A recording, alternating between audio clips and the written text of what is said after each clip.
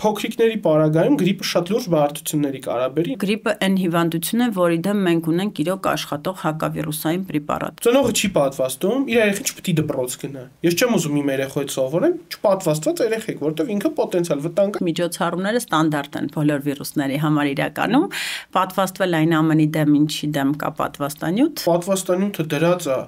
անվճար, ծրի, ամենալավ պատվաստանյութը պոլիկլինիկաների սառնարաններում դրած է։ Մի երեխան տանը ունենալով ծանր կարմրուկ, ելի երկրորդ երեխայի կարմրուկով պատվաստման հարցը դրվում է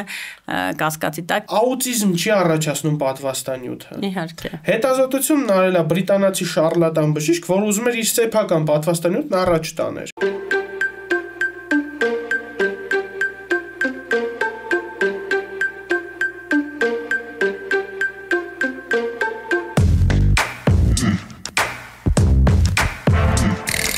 Ասում են աշունը ցուրտ է լինելու, բայց ես գիտեմ մի հատ վայր եւ երկու օր, որտեղ լինելու է շատ ջեր միջավայր։ Դա նոյեմբերի 16 եւ 17-ն են Meridian Expo կենտրոնում, որտեղ անցկացվելու է գալակտիկայի ամենամեծ բժշկական միջոցառումը MedMeet 2024-ը։ Ինչ է սպասվում մեզ միջոցառման ընթացքում։ Հնարավորություն է ծանոթանալ բժշկական կենտրոնների ծառայություններին, լավագույն բժիշկ մասնագետներին, նորագույն սարքավորումների հնարավորություններին։ Լինելու են հետաքրքիր առաջարկություններ եւ խաղարկություններ։ Լինելու են հետաքրքիր մրցույթներ եւ բազմաթիվ նվերներ։ Լինելու են մանկական գոտիներ, լինելու են մայրական եւ հայրական դպրոցներ։ Ուսանողների համար խաղարկվելու է 1 տարվա ուսման վարձի փոխհատուցում։ Մասնակիցների համար խաղարկվելու են անվճար հետազոտություններ լավագույն բժշկական կենտրոններում ու գաղտնիք բաց եմ ասում են վերջին iPhone-ն էլ են խաղարկելու։ Մենք էլ ենք այնտեղ լինելու Doctors Room-ի ամբողջ թիմով գտնվելու ենք Meridian Expo կենտրոնում MedMeet 2024-ին։ Դու էլ կարող ես գալ։ Ուղղակի պետքա նկարագրության բաժնի լինքով գրանցվել։ Մուտքը անվճար է, զուտ խնդրում ենք նախապես գրանցվել։ Դե ինչ այսքանը, հա, մեկ էլ մոռացա ասել, այնտեղ լինելու է նաև գիտական մաս հատուկ բժիշկների համար, բայց դրա մասին խոսանք նաև մեր story բաժիններում, ինչպես նաև MedMeet 2024-ի Instagram-յան story բաժիններում։ Այմա հաջողություն։ Ողջույն սիրելի ընկերներ, ողջույն սիրելի բարեկամներ, սեպտեմբերն է հեսա վերջանում, դուք սաղդ Green Day and Wake Me Up When September Ends երգն եք լսում, եթե չեք լսում, անց եք լսելու։ Այսօր մենք ունենք հյուր մանկաբույժ Մուրացան հիվանդանոցի մանկաբուժական բաժնի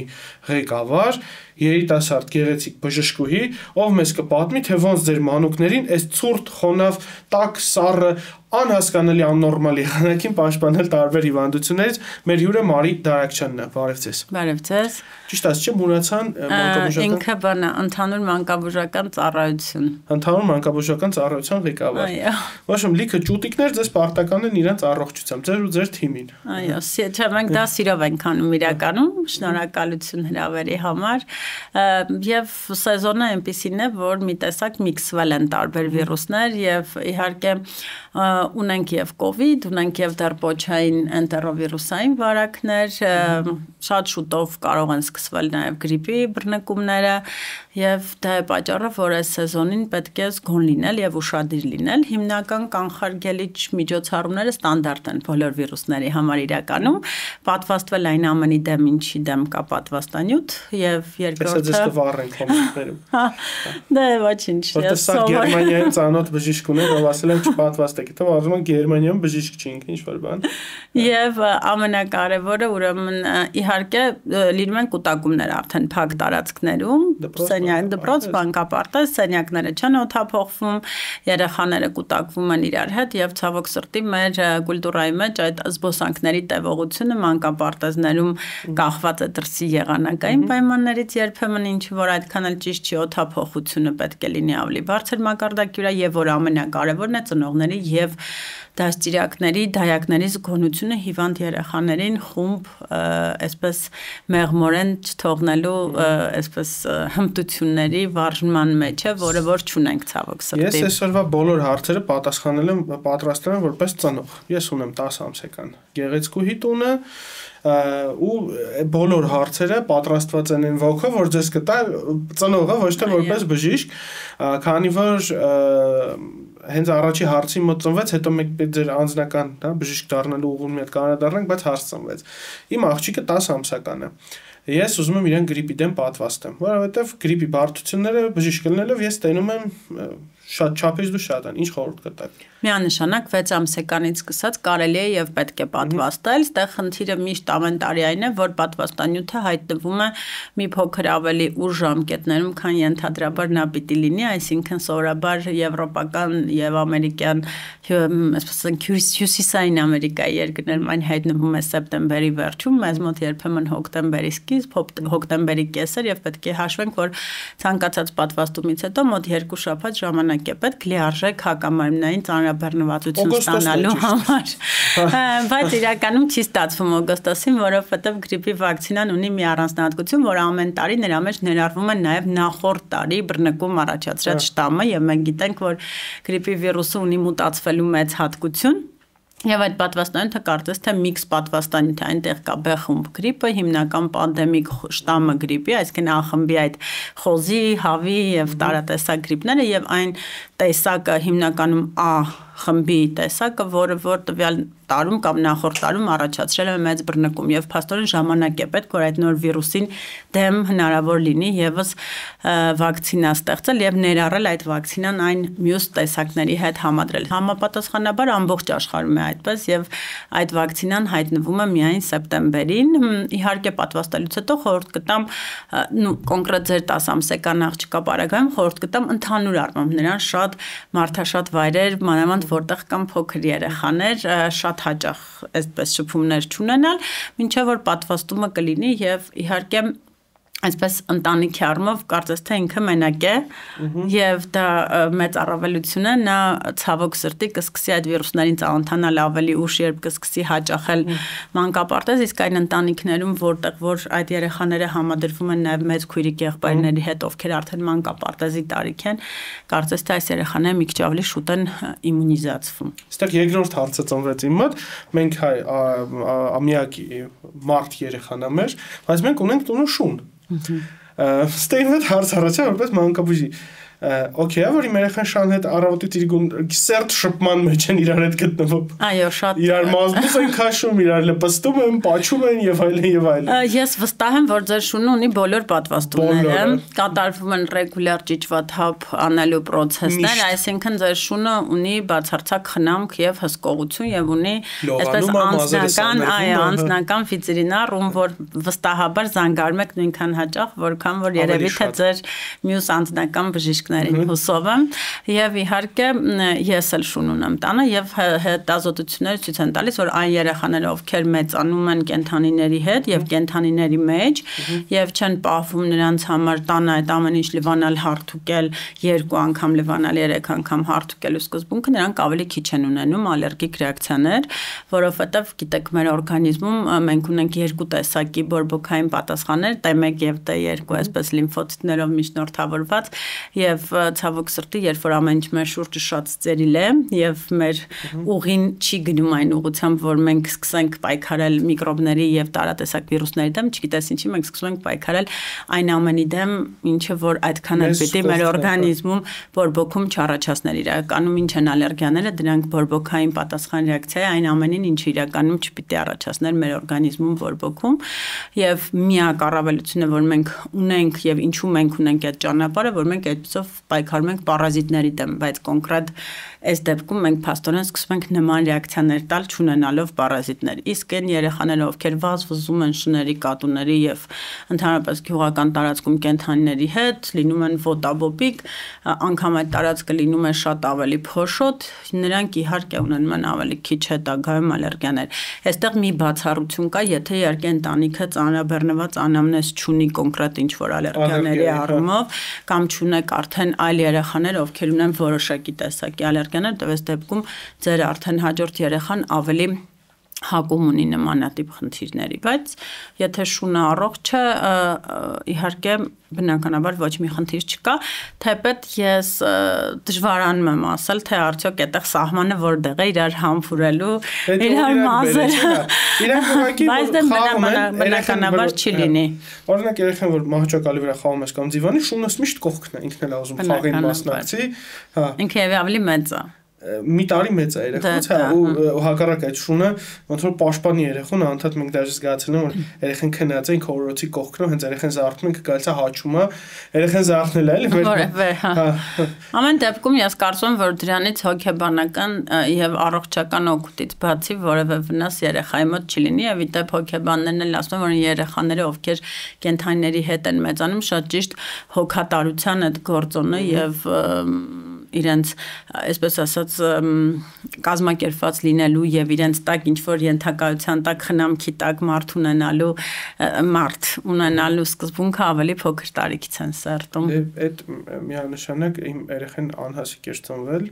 34 շաբաթում, երբ որ նեոնատոլոգիա մենք հարցեցինք բաժանմունքի վարիչ Երևանը, Պավել Մազմենն ասաց, ես էլ շուն ունեմ, տեսավ շուն ունեմ։ Հատած բաժի խնդիր չկա շան հետ կապված էլի, որովհետև ես արդեն մտածում եմ տուն վարձեմ, շանս հետ տեղափոխվեմ, ինչեւ երեխան մեծանա։ Որ շունը տնից անել դա բացառվում է, իմ շունը իմ տան անդամն է, ոնց որ եւի ձեր։ Ես դες տենց այո, կարող եմ դեպք պատմել ընկերուս մոտ երեխան անդադ ալերգիկ ռինիտներ ուներ կրկնվող եւ երբ մենք կատարեցինք հետազոտություն, պարզվեց որ կա սենսիբիլիզացիա կատվի մազի նկատմամբ, բայց տանը կար Փիսո, հա, փիսո կար եւ այդ կատուն ինքնուրույն էր եկել իրանց տուն, կարծես թե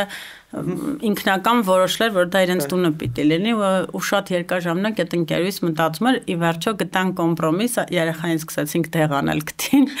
բայց կատվին ամեն դեպքում տնից չանցին եւ դա համաշխարհային խնդրեմ է որովհետեւ իրոք մարդիկ ովքեր անգամ շուն ունեն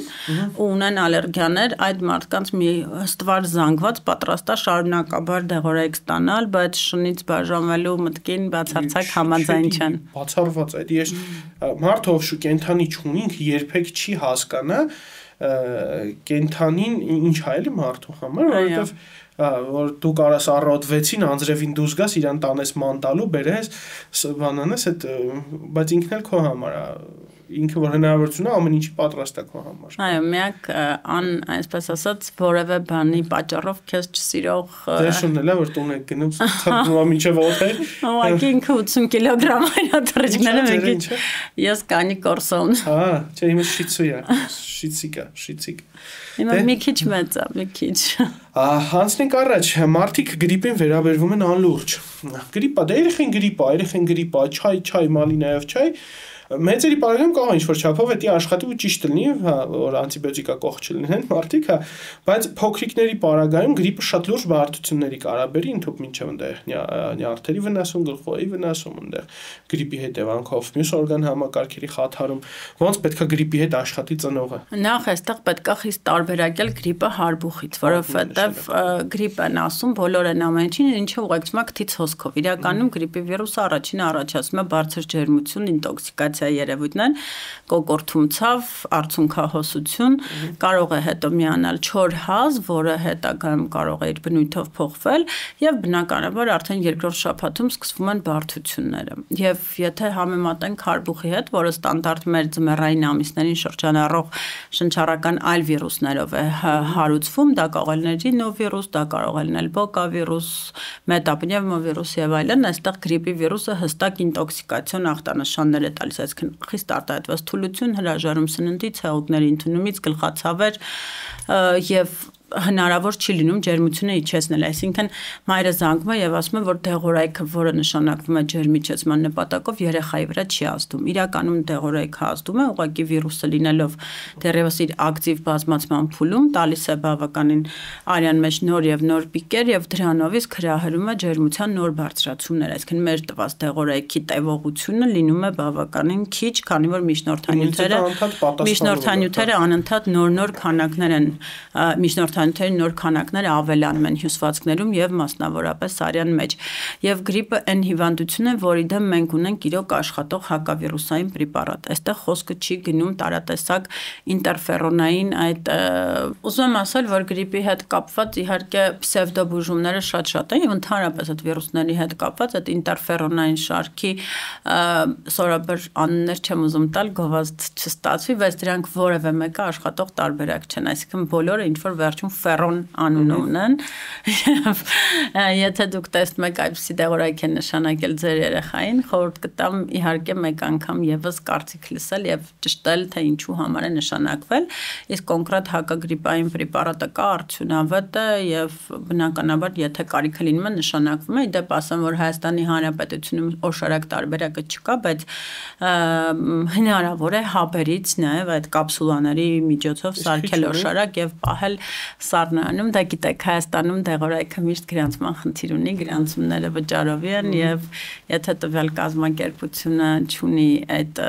դեղորայքից, այսպես ասած, անընդհատ շարունակական օգուտ բնականաբար դա դեղորայքի զիջել օրինակ այդ դեղորայքին։ Դա կարծում եմ տես դեղորայքների հետ կապված հարցեր բավական հաճախ են ծագում, անավանդ նեոնատալ բժշկությունում, օրինակ վիտամին K-ի հետ տենց հարց կար,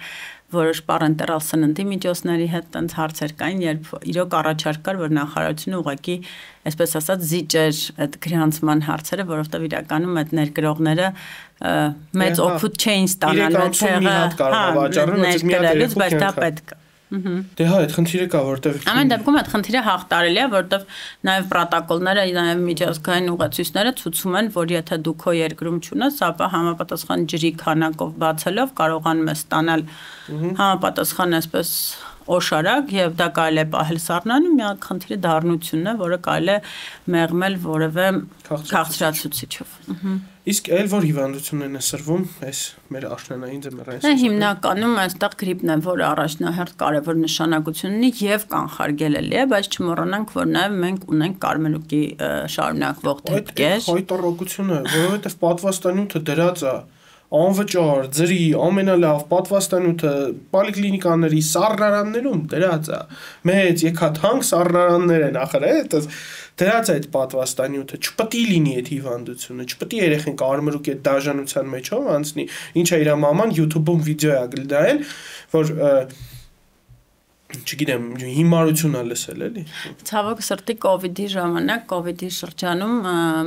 եղավ մի հատ իրավիճակ, երբ պատվաստանյութերով պատվաստանների ծածկույթը իջավ Եվ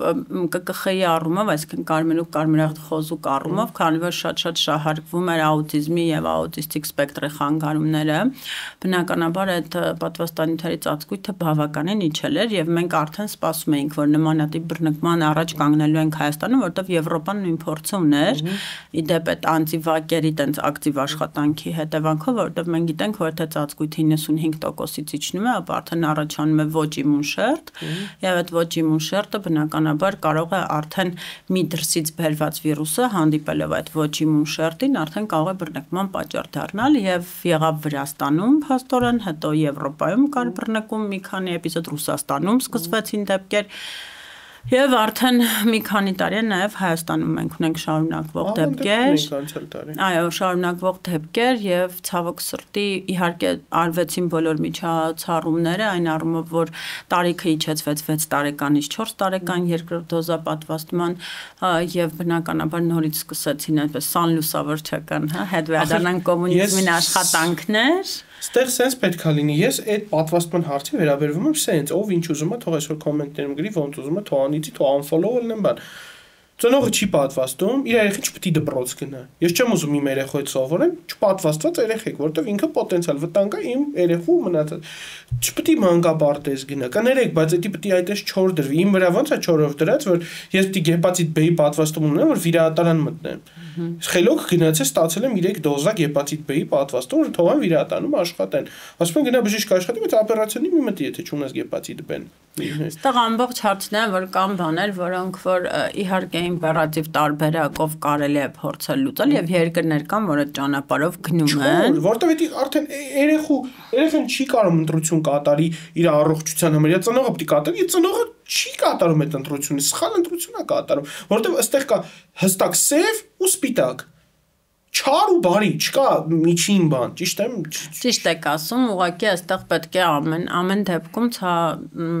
ես չէի ասի ցավոք սրտի, բայց ես կասեի ուրախություն, մենք ապրում ենք դեմոկրատական երկրում, որտեղ որ իմպերատիվ միջոցները իմպերատիվ միջոց այսպես բացատրելու եւ տեղեկատվություն ճիշտ տարածելու տարբերակով են, ես կարծում եմ, որ պիտի անընդհատ հանրային դեմքերին ներգրավեն այդ process-ի մեջ։ Դուք էլ ստեղ եք, ես հաղորդումն էլ նայելու եմ աուտիզմ չի առաջացնում պատվաստանյութը։ Իհարկե։ Հետազոտությունն արել է բրիտանացի շարլատան բժիշկ, որ ուզում էր իր սեփական պատվաստանյութն առաջ տաներ։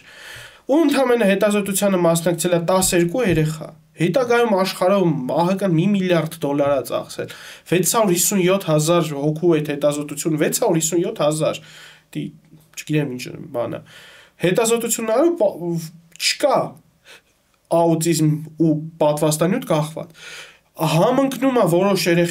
են բա, երբ որ հայտնաբերվում է ցավոք սրտի աուտիզմը պատվաստման է, բայց դուք հիշեք, որ երեխեք ԿԿԽ-ն ստանում 6 ամսեկանում, երկրորդ դոզան է ստանում այն տարիքում, Այստեղ ամբողջ հարցը նրանում է կանում, որ ուղղակի քանի որ մենք գիտենք, որ աուտիզմի ժամանակ, այսինքն աուտիզմ ախտորոշումը նախ դրվում է հենց 2.5-3 տարեկան հասակում, այսինքն առաջին նշան եւ սկրինինգային հետազոտությունները, որոնք որ իրականացվում են,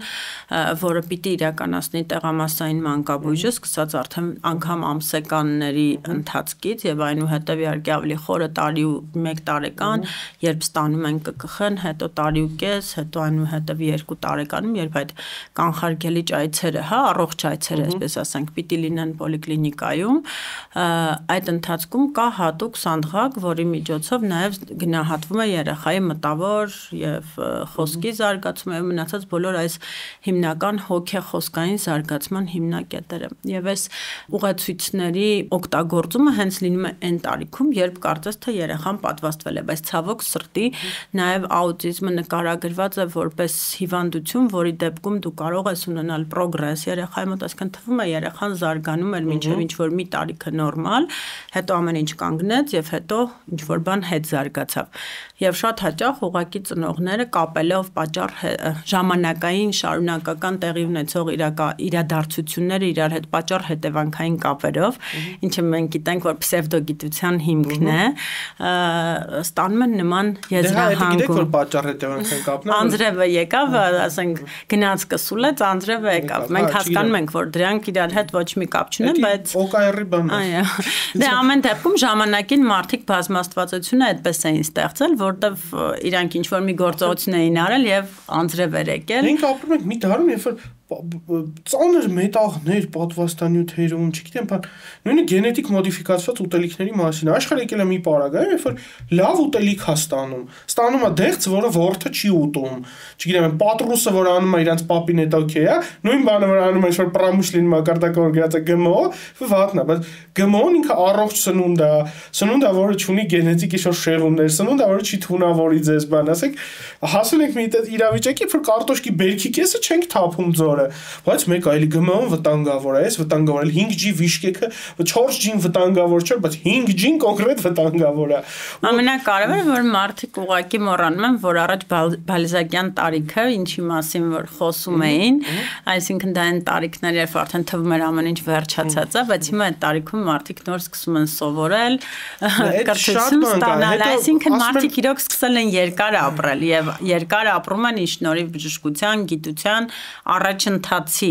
եւ երբ որ իրենք պնդում են շատ տենց միաբերան որ դե հիմա ամեն ինչ վատ է դրա համար այսքան ուռուց կա դրա համար այսքան քաղցկեղ կա բայց իրենք չեն հասկանում որ իրենք երկար են ապրում 40 տարեկանում մահանում էր ինչ ուռուցքից մահացավ եւ 40 տարեկանում մահանում էր եւ դա համարվում էր որ ծեր մարդ է որը մահացել է եւ որի հետևից բացարձակ ոչ մի տխրություն չկար որովհետեւ նորմալ էր ինքը իր մաքսիմալը ապրել էր առաջ ահոցից չկար բայց առաջ ահոցից ահոցիկ երեխեք չկար չկային, բայց որտեղ կարդում էր բանը 5 գրականություններ դիվահարների մասին է խոսում։ Չախտորոշված հիվանդություններ էին որոնք մարդիկ տարբեր գերբնական անուններ էին դնում։ Հարցը սա դրա մեջ է։ Աուտիզմով երեխեքի տեսո շատ լավ աշխատում են, լավ ծնողը, լավ աուտիկ երեխու հետ բավական լուրջ աշխատանք է տանում, բավական ընդգրկում է։ Մենք ապրում ենք մի դարում, որտեղ դաունի համախտանշով երեխեքը սոցիումին հավասար, գրեթե հավասար աշխատանք են տանում։ մեր գենետիկայի կենտրոն գալիս գնում արևի մարդիկ, մենք իրաց տենց ենք ասում Ժպտերը այս հավեսով բարի աշխարհը ճանաչող sense ինչ որ երեխեք են, մատուցող են աշխատում, այս բան ինտեգրվում են ու դու այս դարում քո երեխու առողջությունը դնում ես ինչ որ դից լուրջ բանի տակ, հարվածի տակ, քո երեխու, քո կողքի բան երեխու, ինչա ինտերնետում այդ հոդված ես կարդացել, դա կրթական ցենզի Ոբշն շատ ջղայնես է։ Ես ախր թեման շատ ծանր եմ տանում, որտեվ այսօր մենք պիտի կարմերուկ չունենենք բժշկուի ջան։ Իհարկե, բայց մենք ունենք եւ այդ ունենալու հետ զուգահեռ նաեւ ունենք բավականին կանխակալ վերաբերմունք շարունակական պատվաստումների նկատմամբ, այսինքն անգամ մի երեխան տանը ունենալով ծանր կարմրուկ, ելի երկրորդ երեխայի կարմրուկով պատվաստման հարցը դրվում է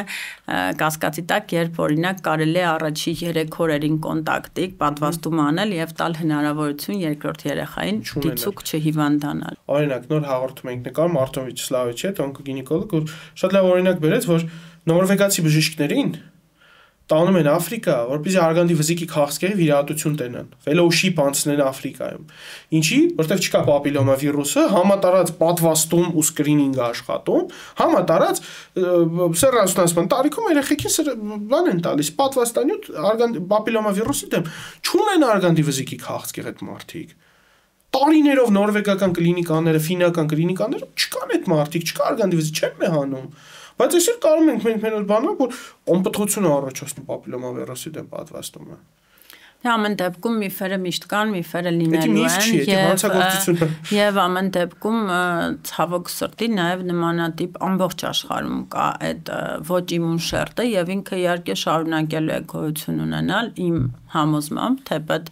ինչքան էլ որ գիտությունը առաջ գնա եւ նորմալ է մենք չենք կարող բոլորին պարտադրել, մենք պիտի կարողանանք շարունակաբար խոսել, այսինքն մեր առաջնային օղակի մանկաբույժների հիմնական գործունեության մի մեծ մասը պիտի ուղված լինի հենց առողջ այցեր սպասարկելու եւ ոչ թե գրելու իստորիաներ, թղթաբանություն եւ տարատեսակ այսպես մակուլատուրայի դե, նյութ հավաքելու, այլ պիտի լինեն առողջ այցերը, որովհետեւ նախ առողջ այց այցերի ժամանակ կփոխվի այն մոտեցումը, որ գնացինք բժշկի ինչու դեղերը հանեց եւ ոչ թե ել ավելի շատ դեղորայք նշանակեց եւ բնականաբար այն բժիշկները, ովքեր որ առաջնային օղակում են աշխատում, նրանք ունեն շատ մեծ առաքելություն, քան նրանք ճանաչում են այդ երեխաներին։ Եվ իմ խորին համոզմամբ հենց առաջնային օղակի բժիշկների կրթության բարձրացումով պիտի լավանա եւ առաջ գնա մեր առողջապահությունը, որովհետեւ հիվանդանոցային բժիշկները, իրականում բժիշկները, ովքեր աշխատում են հիվանդանոցում, պիտի քիչ-քիչ ինչ որ տարիքից հետո ընդհակառակը ձգտեն իրենց այսպես կոչված private practice-ան ունենալու ամբուլատոր հիվանդների հետ, իսկ հիվանդանոցը լինի ավելի այսպես էքստրեմալ երիտասարդ տարիների իրավիճակ, ճիշտ հակառակն է մեզ մոտ։ Իսկ դա գալիս է այնց, որ մենք ունենք շատ հիվանդներ հիվանդանոցներում, որոնք շատ հաճախ ոչ միշտ տեղին են հոսպիտալացվում, ոչ ճիշտ տեղին են բուժում ստանում եւ դա գալիս է նրանց, որ շատ հաճախ անգամ ստացիոնարի բժիշկն էլ միշտ չի, որ ապահովա այդ երեխային հետ ուղարկել առաջնային օղակ, այսինքն ստեղ առաջնային օղակի եւ ստացիոնար օղակի համագործակցության հարցը պիտի լինի ավելի սահուն դրված։ Հարցերը մեր մենտալիտետը մեկ-մեկ զանգում են Դավջան, օրինակ, մուրացանում ծանոթ ունես, երեխուն չեն պարկասնում։ Ահա հարցնում եմ երեխուդ քեզ, բա 30 հասնում եմ, այդ երեխան որտեղ է լավ իրան, տունն է իր մահճակալում մամայի կողքը, տատիկի թեյը, չգիտեմ, այնտեղ իր սիրած մուլտիկը նայելու, թե հիվանդանոցում որտեղ անverջ լացա, կոցա, քրտինքը հազար անգամ կներեք, էլի հիմա այդ է ասում եմ որտեղ է հարմար երեխուն բա դե բավոր ասում եմ բավոր բավոր ասում եմ լստի երեխուն հետևի ջերմություն չափեք մի բան չի կապվեք բժշկի հետ ախր մարդը պետք է հասկանա որ հիմա բժշկությունները չէ գիտեմ մահճակալ օրվա կրճատման համակարգով վիրահատությունից հետո մենք հաջորդ օրը հիվանդին ասում ենք ստեսություն ձեզ լավ մնացեք առողջություն հա որովհետև հասել ենք դրան ու ամեն սրտից բանից պարկասնել հիվանդ էլ չխոսած որ ներ հիվանդանոցային ինֆեկցիաները որոնք շատ ավելի վտանգավոր են ներ հիվանդանոցային թոքաբորբինքը շատ-շատ ավելի վտանգավոր է քան այն թոքաբորբը երեխան տունն է տանում իհարկե մենք այդ իմ ամենօրյա աշխատանքը ամենառավոտ սկսվում է որոշ մայրիկների հետ տենց հաճելի խոսակցությամբ եւ կան մայրեր որոնց շատ դժվար է համոզել որ իրենք տուն գնան արդեն եթե որտեվ եթե երեխան թեկուզ 37 աշճան դեռ մնաց հորթային պոչային օրվա մեջ ունի մեկ էպիզոդ ջերմություն, ապա համոզել այդ ծնողին, որ երեխան բացարձակ ոչ մի բանի կարիք չունի եւ տանը ավելի ապահով կլինի եւ հանելով կատետրը ձեռքից մենք ունենանք մինիմալ ներհիվանդանոցային տարատեսակ բարձր ռիսկեր դա իհարկե պահանջում է ժամանակ եւ երկար բացատրական աշխատանքներ, դե մենք քամր ես մանկաբույժ եմ, իմ նյարդային համակարգը նշանակ խնդիր չունի։ Ես տենց լրիվ օքեյ։ Մանկաբույժները մանկավարժների բանն է, չէ՞։ Չէ, իրանք իրականում շատ նյարդային մարդիկ են, բայց շատ տենց արտակինից պատված տարատեսակ այսպես պատյաններով։ Ինձ ուսուցչուհի ա եղել, հիմա բանկում աշխատում հարցնում է ոնց ես դիմանում մարդկանց այդքան բանը բացատրում ես մտի գայք դպրոց այսքան տարի կաշխատեք կբացատրեք մեծ մարդուն են կարելի համբերատար մի քանի անգամ մի բանը բացատրել եւ փաստորեն ստացվում է այնպես որ մենք առաջինը ինչ որ անում ենք առաջինը հեռացնում ենք կատետերը որը որ ըստիս ամենա մեր դարաշրջանի մեծագույն խնդիրներից մեկն է եւ մարդիկ կախվածություն ունեն այդ կատետրներից սիստեմաներից ժշկույթյան այդ սիստեմը ստանա երախեն ու առողջանա է եւ երբ դու բացատրում ես, որ օրինակ այդ այս մի բաժակ ջուրը եւ այդ ֆիզլուծույթը, որ իրենք ստանում են, համարյա թե նույն ու համարյա թե չէ, սա ավելի անվնաս է, որովհետեւ այնտեղ մենք անմիջական երակի հետ կոնտակտ ունենք եւ բնականաբար ունենք ռիսկեր վարակներ տարածելու, ներ հիվանդանոցային վարակներ տարածելու եւ իհարկե երբ արդեն իրենք էլ սկսում են հասկանալ, 1-2 անգամ այցելում են մեզ, սկսում են վստահել, արդեն իրենք էլ գիտեն, որ միանշանակ հոսպիտալիզացիան երկար չի տևելու եւ առաջի հարցը առավոտյան ինչը ձեզ անհանգստացրեց, որ եկաք հիվանդանոց, որովհետեւ դա շատ կարեւոր է, թե մայրը ինչու համար է դիմել հիվանդանոց եւ ինչու է հոսպիտալացվել։ Կան դեպքեր իհարկե, որոնք քննարկման ենթակա չեն, դա ջրազրկումներն են, դա արտահայտված ինտոքսիկացիան, թուլությունը, քնկոտությունը, տարատեսակ նյարդաբանական ախտանշանների արկայությունը, նույն վիրուսների ժամանակ, որը իհարկե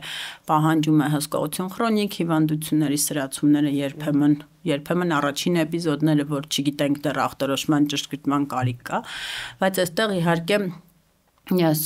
շատ-շատ ուրախ կլինեմ, որ մենք էլ մի օր կարողանանք տարբեր եվրոպական երկրների պես խոսել նրա մասին, որ մեր բաժանմունքները ուղղակի դատարկ են կամ կիսադատարկ են, որտեղ առաջնային բուժօգնության օղակը կատարում է իր գործառույթը հոյակապ։ Եվրոպայում բժիշկը հանգիստ կարող ասի գնացեք թեյ խմեք, պարկեք, կանցնի Չէ, մենք չենք կարում, որովհետև հա, երբ որ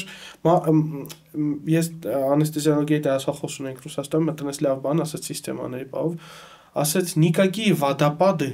никакие моря и океаны не убили больше людей, чем эти системы. Ага, внутри, внутривенная система инъекций физраствором։ Да, к сожалению։ Հա, որովհետև ինքը հենց միտքը որ դու անընդհատ հիդրատացիա ես անում օրգանիզմը, միան արյունը անընդհատ նագրոսկի տակ է սպանում, սիրտը նագրոսկայի տակ է սպանում։ Այդ հեղուկը բնական ճանապարհով չի ներծծվում, երիկամներով չի ֆիլտրվում, հետ չի գնում, դուրս չի գալիս։ Այդ ամենը խնդրահարույց է, էլի։ Պլյուս հա երակի կոնտակտը դու։ Ամենակարևորը մենք շատ մեծացնում ենք հեմատոգեն ճանապարհով վարակների ռիսկը երեխաների մոտ իհարկե եւ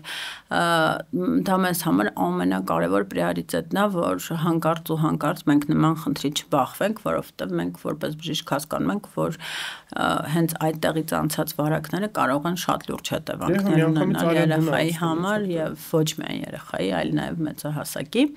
Եվ ելի եմ ասում, եթե նայենք օրինակ այն երկրներին, այստեղ եթե գանք մի քիչ ավելի այսպես ֆինանսական մասերին, այն երկրները, որտեղ որ առաջնային օղակն է որոշումով պիտի հոսպիտալացվի ով չէ, եւ այսինքն օրինակ Գերմանիայում դու չես կարող շրջանցել առաջնային օղակը եւ հայտնվել հիվանդանոցում, եթե իհարկե խոսքը չի գնում emergency անհետաձգելի բաժանմունքների մասին, բայց օրինակ նույն Ավստրիան, որը սահմանակից է եւ հարևան երկիր է, այնտեղ դու կարող ես ընտրել ուր գնալ գնալ հիվանդանոց, թե գնալ քո առաջնային օղակ եւ փաստորեն դուրս է գալիս, որ Ավստրիայում տարվա կտրվածքով ամեն երրորդ մարդը ունի հոսպիտալիզացիա։ Այսինքն անկախ նրանից որ երկիրն է դա, դա Եվրոպայի ամենասրտում երկիր է, թե օրինակ մեր պես Ազիայի եւ Եվրոպայի արանքում փոքր ծվարած երկիր, այստեղ իհարկե ամեն ինչ որոշում են ֆինանսները եւ ֆինանսավորումը իհարկե շատ նշանակություն ունի այդ ավելորդ հոսպիտալիզացիաների կանխման հարցում։ Դե, այսինքն մենք հիմա ֆինանսավորումը բարձրացնենք առաջնային օղակի, մենք ունենանք Դա ես ճիշտն ասած տնտեսագետ չեմ, այդ առումով պիտի այդտեղ տնտեսագետներ եւ ֆինանսիստներ մտածեն այդ մեխանիզմների մասին, թեպետ կարծում հիմա այդ մեխանիզմները որոշակիորեն ներդրվում են կոնկրետ վերահսկման առումով։ Եվ կարծում եմ էլ ավելի կշատանան եւ կխստանան, երբ ներդրվի պարտադիր ապահովագրությունը, ինչին ես անհամբեր սպասում եմ։ Ես քիչ վախում եմ այդ թեմայից, որովհետեւ դա հանգարց չստացվի բոլոր մյուս ռեֆորմների պես այդ ինչ որ դաժան ռեֆորմ լինի, որ չիրականացվի, որովհետեւ եթե այն ֆինանսավորումով լինի ինչ որ պետ պատվերների գներնը, մենք ունենանք բժշկական համակարգում լուրջ բար։ Կարող մանկաբուժություն չունենք, բայց օրինակ եթե ուրոլոգիա նույն գներով ապահովագրությունն ինչ որ պետ պատվերն է, մենք շատ լուրջ խնդիրներ կունենանք։ Բաղ ուրոլոգ ունենալու, այդ ուրոլոգին տեխնիկապես ապահովելու հետ կապված մանկաբուժական պրակտիկայում ինքը ամենադժվարն է, որ երեխեքը ձեզ չեն կարող բացատրեն ինչ է լինում։ Իրանք մեզ բացատրում են իրականում, երբեմն շատ ավելի լավ, քան ծնողներն են բացատրում։ Ես ինքս քանի որ երկու մասնագիտություն ունեմ, նեոնատոլոգ եւ մանկաբույժ, այսինքն այդպես եմ կյանքի ուղին դասավորվել, իրականում երբ դու շատ ես շփվում երեխաները, դու գիտես իրանք քեզ ինչ են ասում։ Դու գիտես իրանք երբ են իրոք վատ, իրանք երբ են լավ ավելի, երբ են իրանք ավելի քո հետ համագործակցող եւ չհամագործակցող տանը ինչ իրավիճակի անգամ երբեմն երեխաները այդպես լուր դու իրենց նայելով արդեն հասկանում ես այդտեղ անգամ տանը կոնֆլիկտների եւ սուրանկյունների քանակն ես հասկանում Եվ իհարկե տարիների հետ սովորում ես նրանց հասկանալ, նրանց սիրել, ամենակարևորը տվես են մասնագիտությունն է, որտեղ որ օրինակ դու կուրոլոգներդ կարող եք ձեր այցելուներին չսիրել, չունենալ որևէ այդպես դրական էմոցիաներ իրենց այցերի ժամանակ, բայց երևի կհամաձայնեք, որ ցանկացած բժշկի համար հաճելի է աշխատել, երբ պացիենտդ պացիենտի հետ դու տենց մի այդպես հոգեբանական ալիքի վրա ես գրում, այսպես vibe-ը բռնում է, հա, ձեր իրար իրար հետ։ Նույնն էլ երեխաներին իրականում իրանք շատ զգում են քեզ։ Իրանք զգում են երբ ես դու նյարդայնացած, երբ դու իրանք չես ուզում, երբ դու չես ուզում իրանք լացը լսես, երբ քեզ դա նյարդայնացնում, իրանք դրանից ավելի են գրգռվում ու քեզ պատասխան են տալիս իրական, երբ դուրը բացվում է, ու դու մտնում ես սենյակ, դու պիտի դրան են կողմում թողես քո բոլոր էմոցիաները, տվ երեխաները իրանք շատ արտացոլելու հատկություն ունեն։ Իրանք քեզանից արտացոլում են քեզանից եւ ծնողից, այսինքն այդ ձեր երեքի էմոցիաների տատանումները իրանք շատ լավ զգում են ու եթե դուք հանգիստ խոսում եք մաման պանիկայի անում, հա, եթե քո ծնողի փոխհարաբերությունները չի ստացում, այդտեղ երեխային բուժելը համարյա հնարավոր չի, որովհետև ծնողի այդ անվստահությունը բերում է բնականաբար այդտեղ երեխայի կողմից նաև էմոցիոնալ ընդդիմության եւ բնականաբար առանց ծնողի մանկաբույժները իրականում անձեռ կամ ոտք են, ոնց որ եւ առանց բուժքույրերի մեր, այսինքն ստացիոնարում Եվ մեզ համար իրանք ամենակարևոր մարդիկ են հիվանդանոցում բուժքույրերը եւ ծնողները, իսկ տանը ծնողները, դեռ եթե ծնողին դու ինչ որ բան բացատրում ես, բայց ինքը միևնույն է դա չի անելու, արդյունքը ստացվում է, որ ուղղակի քո նշանակումները տեղ չեն հասնելու եւ տենց բազմաթիվ գիտեք ունենք տարբեր հումորներ եւ տարբեր այսպես դեղորայքի ընդունման, դեղաձևերի ընդունման այդ կապված խնդիրներ, մոմիկները կուլ տալու եւ մնացած բոլոր այդպես բուժական միջոցների հետ կապված։ Դուք բաժինը լավ փակել եք։ Ես վերջերս ուզեցա բաժիմը մեր մեկ շատ ժամանակ առաջ այսինքն ավել մուտքի ելք չկա։ Այդ ծնողներին բացատրել նաև այդ բահը, որ տատի, պապի, հոր, քուր, հոպ, պար, քերի, քերակին, այնտեղ հարևան բան, չարժի կլինի կական ու չարժի երեխան եթե հիվանդը գան տեսակցության իրան։ Ես կարծում եմ դաշտում նոր հիվանդանոց կար, որը առաջինն էր, տենց որպես շատ առաջ հա տենց այնպես ասենք որ բացարձակ ելումուտ չկար, որից հետո եկավ կ ូវ իդը եւ ցավոք սրտի այսպես ասած կ ូវ իդի հետ ցավոք սրտի հետ եղան մի քանի դրական փոփոխություններ են, որ հիվանդանոցում բաժինները փակվեցին եւ ես արդեն 4 տարուց ավել 4.5 տարի մոտ 5 տարի ղեկավարում եմ այդ բաժինը, մենք ճունենք այն արժոտաժը, ինչը ինձ պատմում են իմ բաժնի բժիշկները, ովքեր անցել են նաեւ այդ բաց բաժինների սկզբունքով, երբ ուղակի սենյակում անգամ մտնելուց դժվար էր կողմնորոշվել ով է հիվանդը, ով է պահողը եւ ով է խնամակալը։ Հիմա անգամ ավելին ասեմ, կոնկրետ մեր բաժանմունքում միջանցքներում էլ ավելորդ արժյոտաժ չկա։ Կար կ ូវ իդի շրջան, երբ ընդհանրապես սենյակներում էին պատրաստի սնունդը ընդունում եւ մեր մայրապետերն էին տակածնում եւ այդ բոլոր սպասարկումը իրականացնում էին որ ընդհանրապես կոնտակտ չլիներ հիվանդների միջև եւ իրար հետ։ Հիմա էլի որոշակիորեն ընդհանուր խոհանոց կա, որտեղ կարող են ինչ-որ բան տակհասնել, ափսեներ լվանալ եւ այլն, բայց միևնույն է կուտակումներ այնտեղ չեն լինում, այսինքն թե մի մայրը իր երեխայի հետ է, ապա երկրորդ մորը այդտեղ լինելը կամ առավել եւս խոսքի զրույցի բռնվելը կամ երեխաներին իրար հետ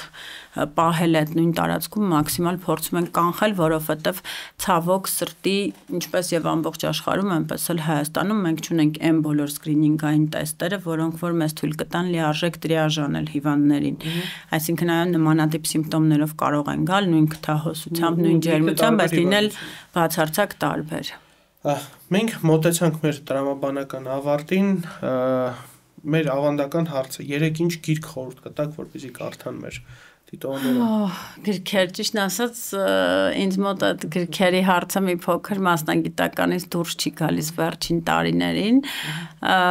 Մասնագիտական ասել։ Պեդիատրիա պապա։ Պեդիատրիա չէ, հա։ Չէ, իրականում ես Երևի թե Hemingway-ից ինչ որ բաներ խորտ կտամ վերընթերցել։ Ես վերջինը որ անգլերեն լեզվով եմ լսել, որովհետև հիմա կարդալ ոչ մի ձև չի ստացվում իմ մոտ աուդիոկնիկան ա եղել իհարկե իր կլասիկաներ։ Ստարիքի մոտ։ Հա, օրիգինալով շատ լավն է, կարելի է լսել իրեն եւ ամեն հայերենով էլ է շատ լավ։ Եվ իր այդ էմոցիոնալ ելևեջները եւ այդ իր նատուրալ լեզվով, այսինքն բնագրով այսպես ասենք կամ թարգմանությամբ բայց շատ լավ թարգմանությամբ եւ այդ աուդիոկնիկով իհարկե շատ լավն է ինքը ստացվում այս վերջի պատերազմները հաշվի առնելով հաղթական կամարը խորհուրդ կտամ որ մի հատ էլ վերընթերցեն եւ վերջի էլի այդ շարքից գիրքը որ եղել է եղել է նաև դրա ֆիլմը կար նոր նկարած Էլի Ռեմարկ Էլի Ռեմարկ հա նազավ այո Բեսպերիման իր վերջի ֆիլմը շատ լավն է ծանր է շատ գիրքը դա սարսափելի է անցյալ շաբաթ մեր հաղորդումը պես խոսում ենք այդ հա, գիրքից հա Երևի կարծում եմ իմ վերջի գրքերը դրանք են եղել մի տեսակ Ռեմարկից հետո դժվար է ուրիշ բան ինչ որ կարդալ նու եթե տենց ինչ որ ավելի կուզենան նորից վերընթերցել Մաստերի Մարգարիտան այս տարիքում մենք բժիշկ չենք ունեցել խորհուրդ տլիքը սա բոլորը Չէ, բայց ես իրան, բայց ես իրան ավելի շատ հիմա որպես վերջի վերընթերցումը ավելի ինքը մի քիչ այդ էմոցիաները քիչ էին ավելի։ Դե օրինակ ես իրան ասում եմ, եթե ուզում ես հա։ ուժս կարդաս, կոմեդիա, դրամա, բան, կարող ես Ամեն ինչ կասմից անընդհատ վերընթերցես, հա։ Իրան եւս կարելի անընդհատ նույն գիրքը։ Դե ինչ սիրելիներս, այսօր այսքանն էր մեդքասթը մեր հյուրը Մուրացան մանկաբուժական ծառայության ղեկավար Մարի Տարակչյանն էր բաժանորդագրվեք բժշկու էջերին, Instagram, Facebook, որտեղ կա ու առողջ եղեք։